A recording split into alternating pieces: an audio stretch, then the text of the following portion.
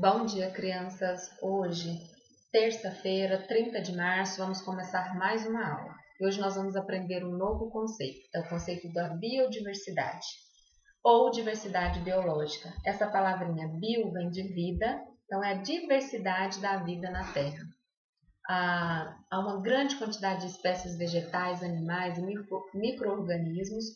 É, terrestres, é, aquáticos, né, marinhos, cada ecossistema aí é muito complexo e tudo faz parte a, da diversidade do nosso planeta.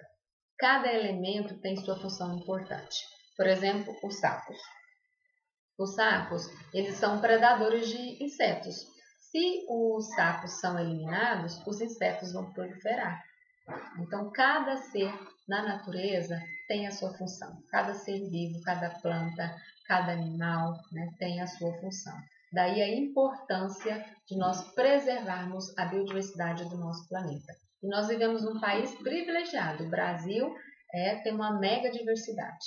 Nós temos uma quantidade infinita de plantas e animais que vivem no nosso planeta. A importância da preservação do meio ambiente, certo? Bom, eu vou explicar as atividades para vocês. É, vocês, depois, vocês vão assistir é, alguns vídeos para ajudar vocês na, na, atividade.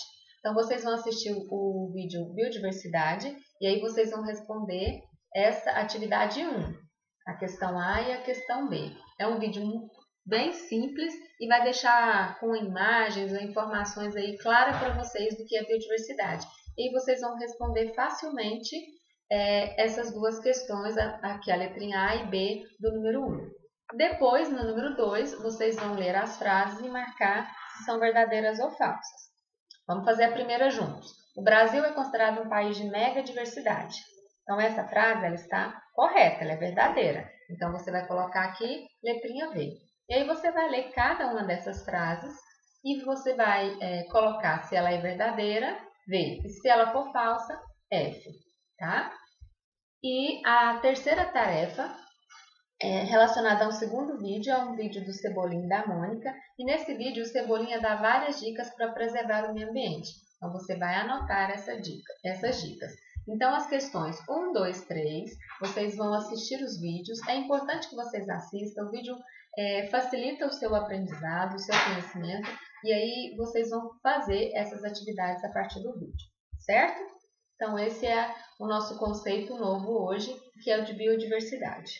Quando vocês terminarem essas atividades, ah, tem mais uma aqui que a tia esqueceu. Escreva uma frase sobre a imagem. Olha que triste, gente. Ó, houve uma devastação da floresta aqui, até os animais estão tristes, né? Aí você vai é, escrever uma frase. Não precisa desenhar aí quem não vai imprimir, não. Vai só escrever a frase. O pessoal que vai imprimir a tarefa, escreva aí ao lado, ok? Aí, quando vocês terminarem essas atividades, vocês vão ver o vídeo de matemática, relembrando que nós já aprendemos. Nós já aprendemos nesse bimestre unidades de medida. Nós aprendemos que tem dois tipos de unidades de medida: as medidas padronizadas e não padronizadas. O que, que são as medidas padronizadas? Quando eu vou lá na frutaria e compro um quilo de maçã, ela é pesado aqui. Né? Então, o preço é por quilo. As frutas, as verduras são por quilo. É uma medida padronizada.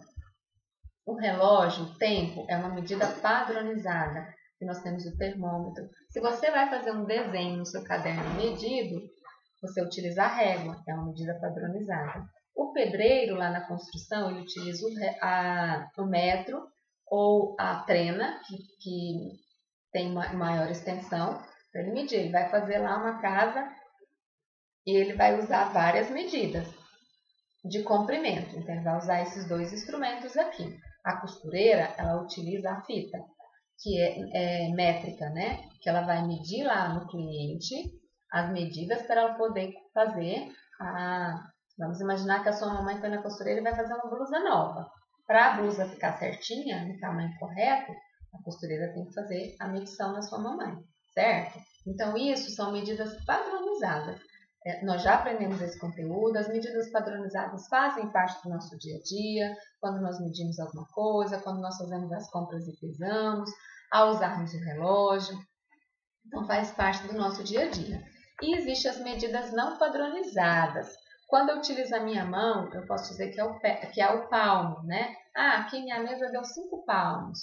Ou utilizo o pé, né? Ou utilizo a abraçada, o nosso dedinho como polegar, tudo isso é medida não padronizada. Essas medidas também fazem parte do nosso dia a dia, mas elas funcionam assim para as coisas mais simples, para algo que, é, se eu vou medir aqui o espaço, eu vou trocar minha mesa de lugar. Ah, será que a minha mesa cabe naquele lugar ali diferente? Eu posso pegar, usar os, os palmos né, da minha mão, meço a minha mesa. Ah, deu cinco palmos na minha mesa.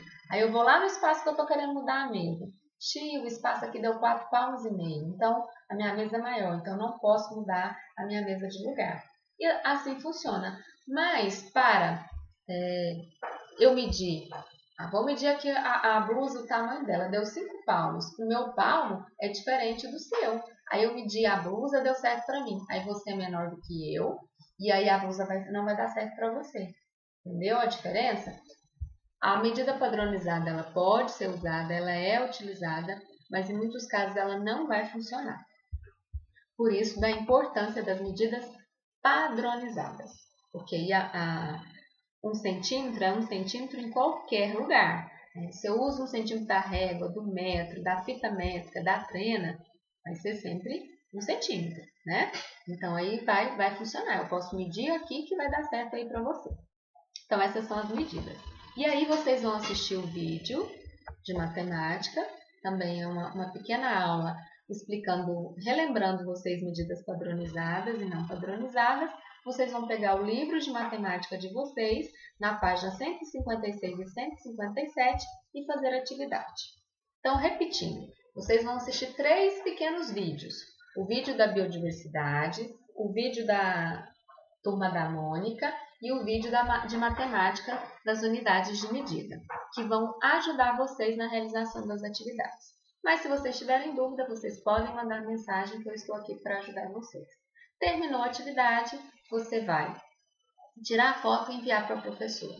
As atividades de vocês valem nota e valem a frequência de vocês. Ok? Beijo no coração, fiquem com Deus e até amanhã.